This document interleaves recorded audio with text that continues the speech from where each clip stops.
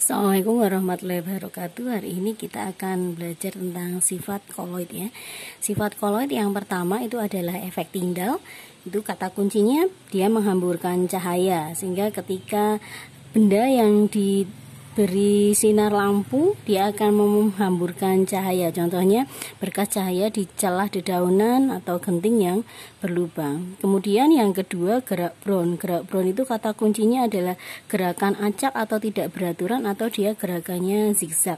Contohnya partikel udara yang dia tidak mengendap gitu ya. Itu karena kalau kita amati ketika ada berkas sinar yang melewati lubang itu kita lihat udaranya akan terlihat seperti partikel-partikel yang bertumbukan sehingga dia tidak mengendap. Kemudian yang ketiga adalah elektroforesis. Elektroforesis itu dia kata kuncinya adalah partikel koloidnya dia terpengaruh oleh medan magnet, eh, medan listrik.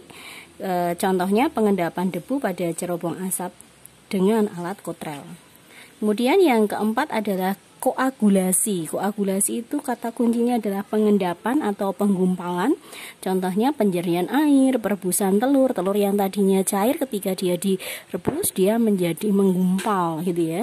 Kemudian yang kelima adalah absorpsi. Absorpsi itu kata kuncinya penyerapan ion pada permukaan partikel. Misalnya pemutihan gula tebu atau garam dapur, kemudian penggunaan deodoran. Penggunaan norit untuk obat diare itu sering eh, beda asumsi ya. Di sini norit itu dia menyerap patogen yang berada pada usus sehingga uh, fesesnya yang tadinya cair dia menjadi menggumpal tapi prosesnya adalah penyerapan gitu ya yang keenam, dialisis itu kata kuncinya menghilangkan ion-ion pengganggu. Itu contohnya penggunaan dialisator pada penderita gagal ginjal.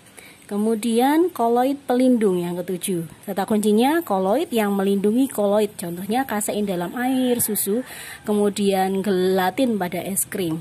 Nah, liofob dan liofil. Liofob itu koloid yang tidak suka dengan mediumnya. Contohnya salogam. Kemudian kalau liofit itu adalah koloid yang suka dengan mediumnya. Maka contohnya agar-agar gitu ya. Biasanya mediumnya itu adalah seringnya adalah air atau larutan.